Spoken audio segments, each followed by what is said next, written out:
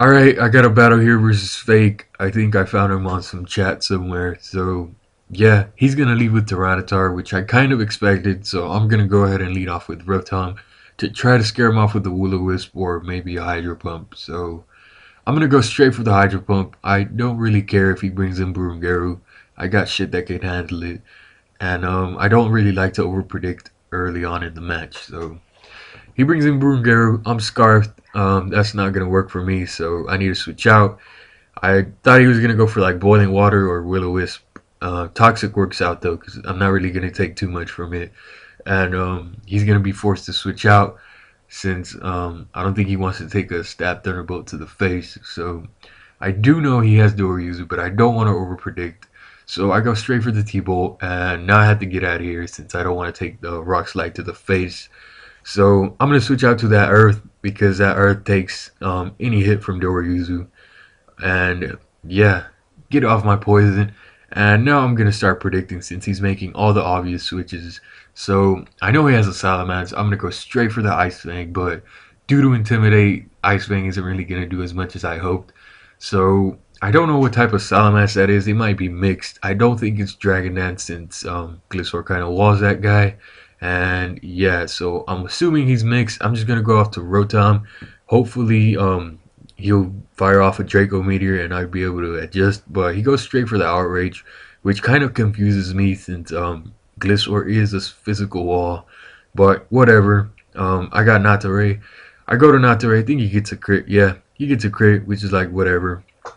I'm gonna get up some Stealth Rock, and um, yeah. So he went for Outrage. I know the Outrage set always runs um Fire Blast because of Natare, Fortress, and Skarmory. So I'm gonna Death Fodder my um, Rotom, which didn't really do too much, but whatever. Sand is gonna finish him off, and now I'm just gonna go to Boltros. Since I know Boltros could do a lot of damage, since I do have the Focus Blast, and he might go to Tyranitar again.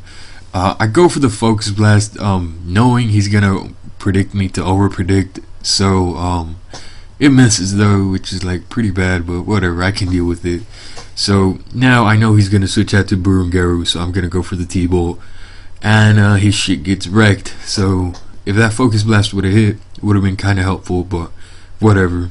80% isn't accurate enough, I guess. So I'm pretty sure he's not going to want to switch out Broongaroo since pretty much useless, and I believe I got up Stealth Rock, so he's probably not going to. Well, he's probably not going to be able to bring him in again and do a lot of stuff. So, yep, T-Bolt finishes him off, and I got my shit at 50% health.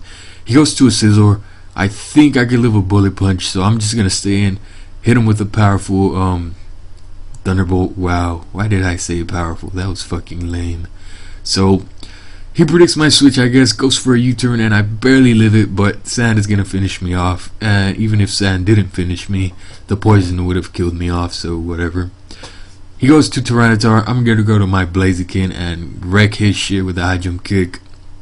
And yeah, he's pretty much in deep shit since um his ghost is dead, which means that like all of his fucking team is weak to fighting now. So I'm sitting here pretty good.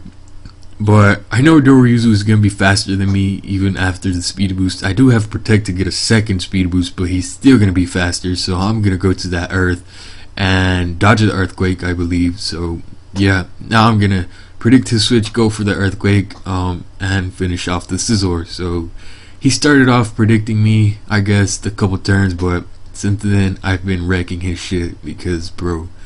But yeah, so now he's got a fucking a Heatran out, and I'm just gonna bring in um, Natterhake as Death Water, so so I could bring in Latios um, and hit him with the Surf, and that's not gonna quite kill since I am not Spexed, and he's gonna go for a Nitro Charge for some reason, but I don't really care since a Heatran doesn't really run um, Dragon Pulse anymore.